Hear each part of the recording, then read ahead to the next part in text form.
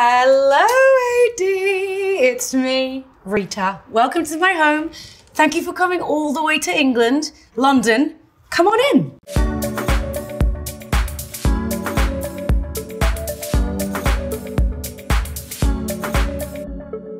Have to tell you the history of this house. One of the main reasons why I bought this house was because of the history. So it was built in the 1800s, originally owned by an illustrator called Arthur Rackham, one of my favorite artists. He did all the illustration for Alice in Wonderland, Red Riding Hood. The house has a lot of energy, good energy, all the creative sort of juices that I need and that I kind of felt as soon as I walked in here. All this original sort of like glass work that you can see up here was here way before I got here. And it's a sign because that clock in the middle, my name in my language also means time. So that was like a little personal connection I had as soon as I walked in. I was like, ah, it's meant to be. This is an old traditional kind of school kind of thing where you sit and you take your shoes off and you hang your coat up here. I've taken them all off because I knew you guys were coming and I wanted it to look neat. Come on, let's show you the kitchen.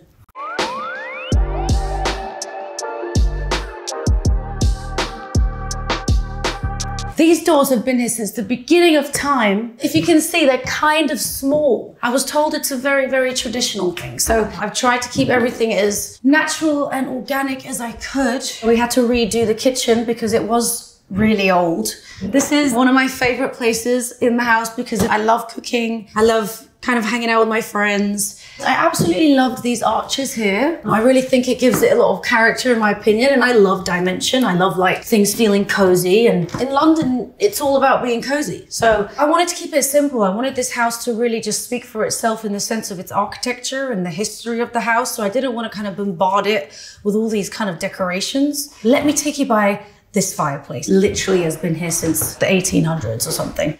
It just really reminds me of the countryside. Cozy, pink, glamorous, girly, but it's also incredibly romantic. And that's what I loved about this house as well. It's extremely romantic, but I like to contrast it because this house has so much history, but I wanted to bring my rock and roll self in there. And then some uh, Damien Hirst work that he personally drew on for me. We love you, Damien. I wanted to just keep that there because again, I think it's really cool to mix the modern with the old school. So this for me that I'm about to show you is the soul, I think, of the house. Here is the frame and the divider that divides this kitchen and my sitting room. It's been here since the house was made, hasn't been touched. It reminds me of like the old sort of like church kind of rusty, but just so full of soul and heart. Arthur himself is pictured with these frames. I need to do the same picture as him so I can like put it side by side. And then maybe in like however many million years or whenever, they're gonna look at me and be like, oh, look at this glamorous person that used to live in the house.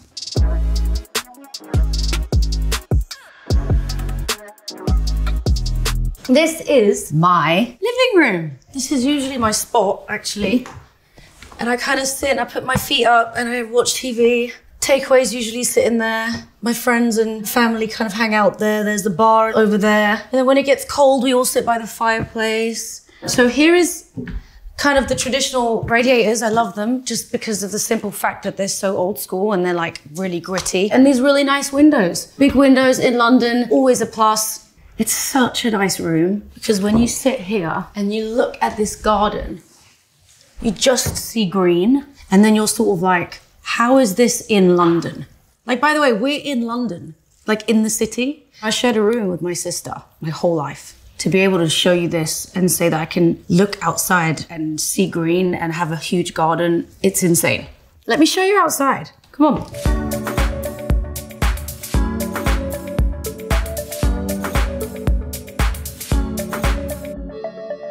Welcome to what I like to call my little piece of heaven. What I love the most about this garden is that it's full of flowers. I love flowers. My gardener's amazing. He and I have sat here for hours deciding what we want, how we want it. I'm just so proud of us. Look how far we've come.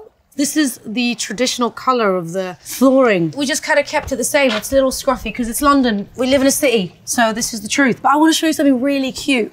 Look at these little footmarks. Back in the day when they first laid this down, a little naughty fox came and stood on the cement and left it like that. Bit of character for you.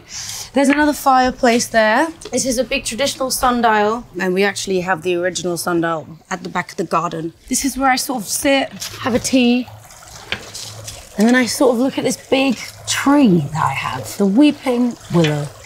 Let me take you through the pond. I got these from Portobello Market, which is where I grew up in West London. Shout out West London. Here we have a beautiful passageway. Welcome to my green piece of secret heaven.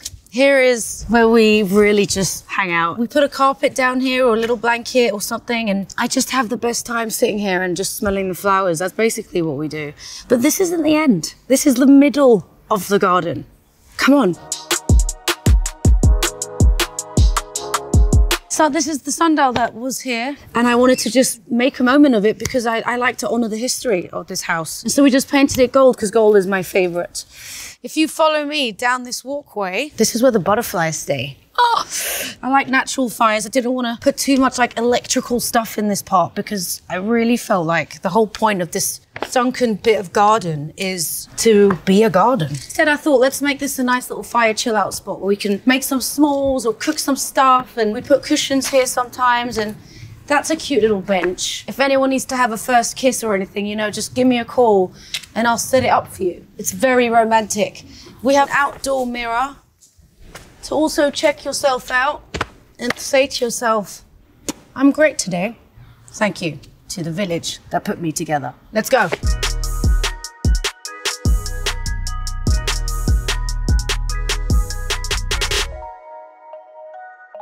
Here we are. This is like where I sleep, and that's all I do.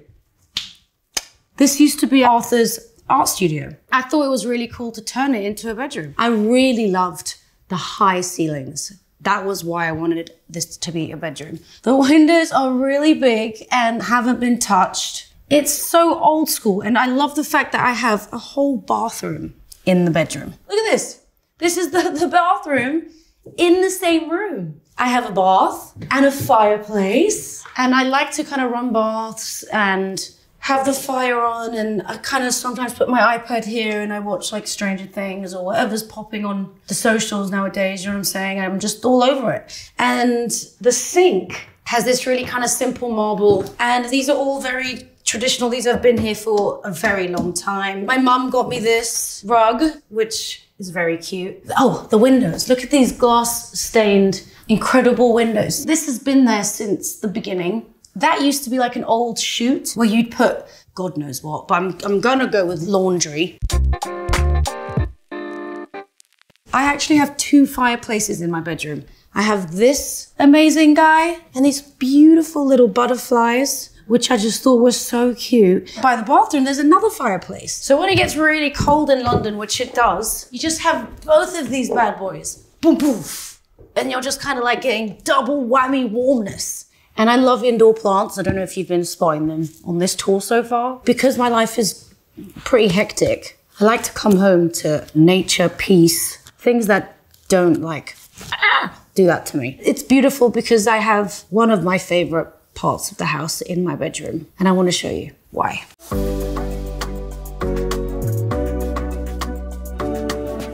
Here is my private balcony that I come out on and I look at London. I sit and I sometimes have my tea here or a bit of breakfast, do some emails. And all of this is all kind of naturally just grown. I haven't touched it. I just wanted it to sort of grow.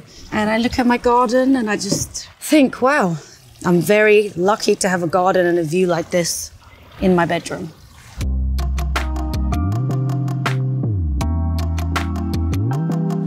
The stairway to my clothes. Look how small this door is. Again, old school. Yeah, so this is where my day to day life happens, and I just sort of get dressed. I love kicks, sneakers. I have lots of sneakers. This is literally half of my stuff because I have so much stuff, it's all in storage. So I've only decided to do like my day to day stuff. When I get up, I like, you know, want to put something on to go to work. But it's pretty cute. This is where I keep all my vintage tees, Sex Pistols. Oh, oh, I forgot to show you. We love George. All right, George. But if you come through here, you have a whole another bathroom. So I kind of get ready here. I just run upstairs quickly, find us something to wear, go back down to my bedroom. And this sink, they wanted to throw this away and we just reused it because it's a double sink and it's just the coolest thing ever. And we put in a shower and we just made this into a really kind of nice, girly, getting ready space. This is my Rita time, I guess. And I put face masks. Sometimes I lie here and I scroll on TikTok, get out the shower and I just think, oh, let's just have a little look. And then it's three hours later. Can you believe that? Let's not tell anyone that. This is where I do all my hair and makeup and I kind of sit here and I let people fix me. And then after 28 hours, this is how I look. What do you think? This is my most proudest possession. It's Lego Spice Girls. And then here is a present I had. It's just kind of some of my magazine covers. It's nice to see some of these accomplishments, I guess, once in a while. You know what I mean?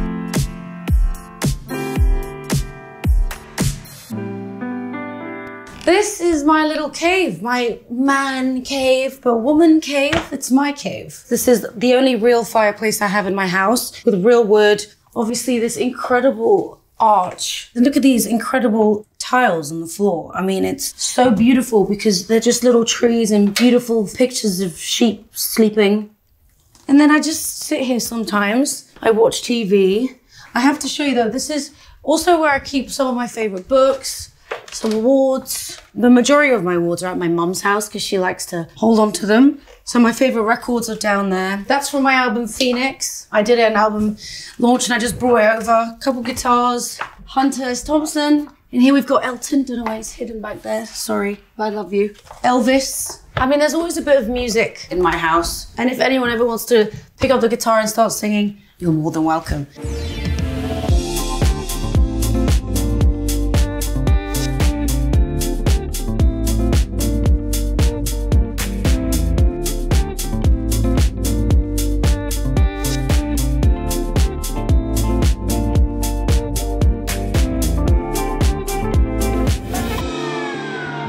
Thank you for coming to visit me. Uh, it's still crazy that I have a house like this, and trust me, I'm very grateful. I'll see you guys really soon. I love you. Bye.